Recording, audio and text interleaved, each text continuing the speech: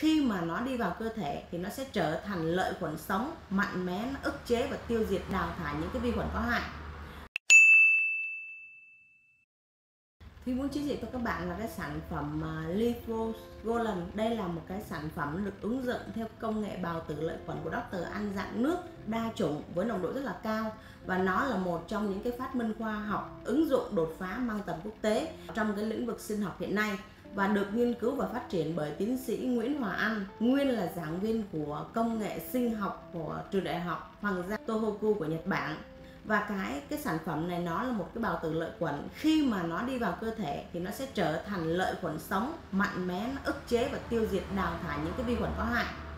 Và bên cạnh đó nó sẽ tổng hợp được 70 loại kháng sinh tự nhiên. Nó sẽ tiêu diệt hại khuẩn giúp giảm được cái tình trạng viêm.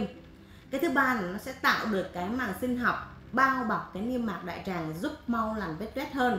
Và cái điều thứ tư là nó sẽ tổng hợp được nhiều vitamin lợi khuẩn được bổ sung, tăng cường việc tổng hợp vitamin và các enzyme, giúp cho người bệnh mình sẽ ăn ngon miệng hơn, tiêu hóa tốt hơn và nhanh hồi phục hơn.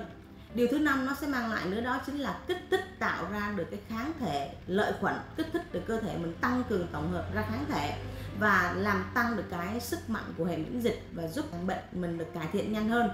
điều thứ sáu nữa là nó sẽ bổ sung cải thiện và giúp cân bằng hệ vi sinh của đường ruột và giúp trẻ hóa được cái sức khỏe của đường ruột. Với những người bệnh mà mắc bệnh lý về đại tràng thì cái vấn đề cấp thiết nhất là phải đồng thời mình ức chế được cái sự phân chia của cái việc hại khuẩn và tạo ra được cái màng sinh học đóng vai trò là cái lá chắn nó sẽ bao phủ được ở trên cái bề mặt tổn thương để giúp cho vết thương mình nó sẽ mau lành hơn thì ở trong cái sản phẩm là Lisbocolan này á, nó nó gồm có cái lợi khuẩn Bacillus clausi và Bacillus thulis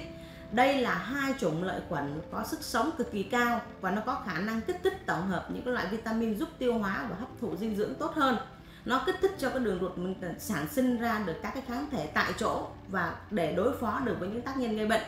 Đặc biệt là cái con chủng Bacillus clausi này nó sẽ không bị tiêu diệt ngay cả khi người bệnh đang sử dụng một số loại kháng sinh thông thường thông dụng luôn và nên là có thể được hỗ trợ trong vấn đề tiêu hóa cho những người bệnh mà phục hồi thể trạng trong thời gian dài sử dụng kháng sinh. À, lâu ngày dài ngày cũng được. Trong khi đó thì cái con bacillus à, uh, subtilis thì nó lại làm nhiệm vụ sản sinh nhanh và tạo ra cái màng bao sinh học và bảo vệ được những cái vết lót khỏi sự tấn công của cái hại khuẩn và góp phần nó sẽ làm tổn thương ở cái đại tràng của mình mau lành hơn.